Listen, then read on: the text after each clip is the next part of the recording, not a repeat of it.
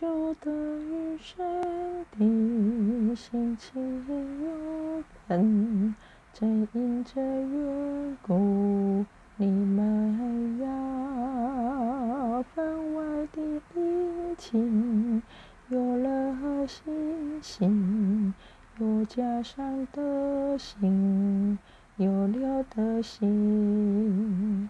又加上知识，有了知识；又加上节制，有了节制；又加上忍耐，有了忍耐；又加上前进，有了前进。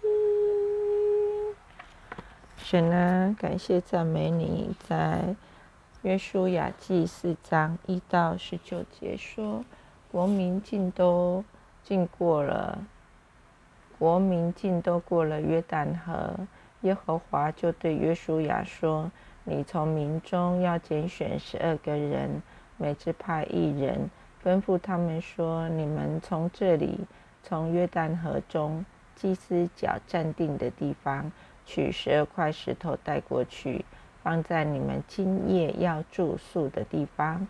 于是约书亚将他从以色列人中所预备的那十二个人，每支派一人都召了来，对他们说：“你们下约旦河中，过到耶和华你们神的约柜前头，按着以色列人十二支派的数目，每人取一块石头扛在肩上。”这些石头在你们中间可以作为证据。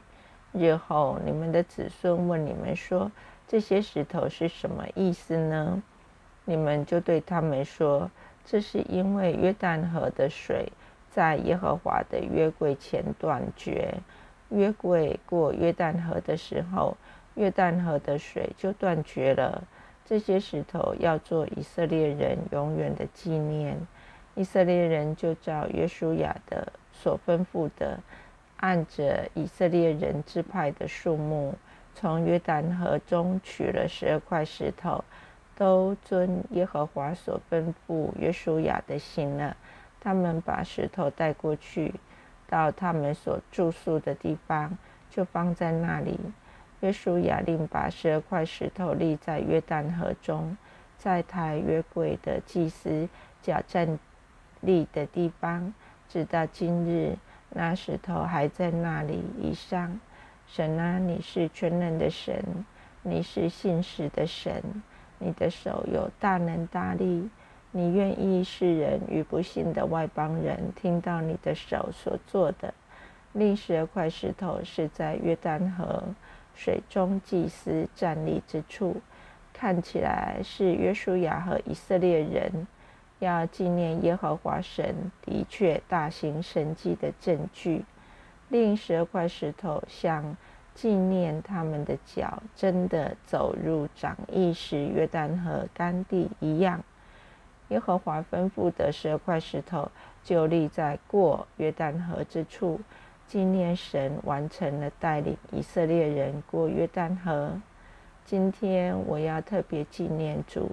耶稣基督在十字架上完成的救赎与复活，我也要纪念主的宝血，就是主必再来，那是我的拯救的凭据，永远的灰烬。赞美主。这里说，他约柜的祭司站在约旦河中，等到耶和华小玉约书亚吩咐百姓的事办完了。是照摩西所吩咐约书亚的一切话，于是百姓急速过去了。众百姓尽都过了河。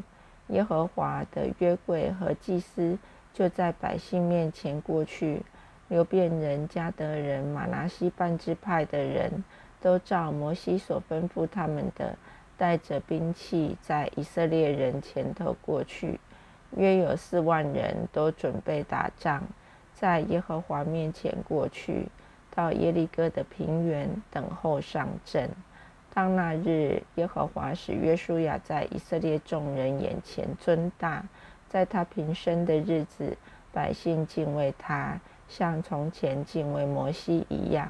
耶和华小谕摩西约西亚说：“你吩咐抬把柜的祭司从约旦河里上来。”约书亚就吩咐祭司说：“你们从约旦河里上来，抬耶和华约柜的祭司从约旦河里上来，脚掌刚落旱地，约旦河的水就流到原处，人就涨过两岸。正月初十日，百姓从约旦河里上来，就在吉甲，在耶和华的东边安营一上。”奇妙，真奇妙的神啊！你真伟大又奇妙。抬耶和华约柜的祭司从约旦河里上来，脚掌刚落干的地，约旦河的水就流到原处，人就涨过两岸。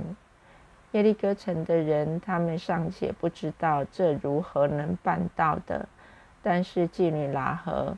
已经说，他们的心都因惧怕而消化了。以色列人的神至高尊大，是他们所风声耳闻，他们的心很震撼着。神啊，我们也是，你也是我们的神。你今天仍然行奇妙的事，就是借着圣灵，好像变成增加。独享给信靠主基督的人大大的喜乐，给他们体验神的信实、美善、活神，至今一直到永远，永不断绝的。所以应当唯独信靠主耶稣基督与神和好。神啊，为我们每一个人感谢赞美神，已经得救的，我们真的非常的喜乐。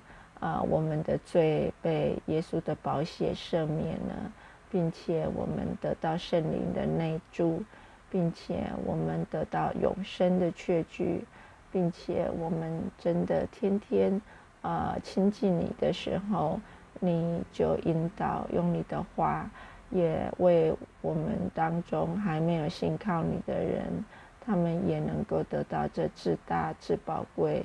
的救恩就是能够，嗯，跟神和好，借着耶稣基督，使他们能够脱离灭亡的呃刑罚，因为犯罪的公价就是死，也是跟神隔绝了。